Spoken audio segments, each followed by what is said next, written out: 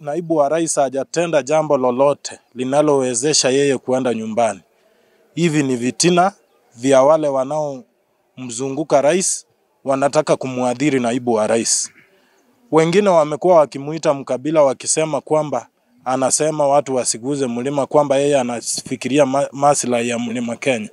Naibu wa rais huzungumza tu, lakini rais wetu ukiangalia katika uteuzi wengi wa serikali amewateua watu kutoka jamii yake.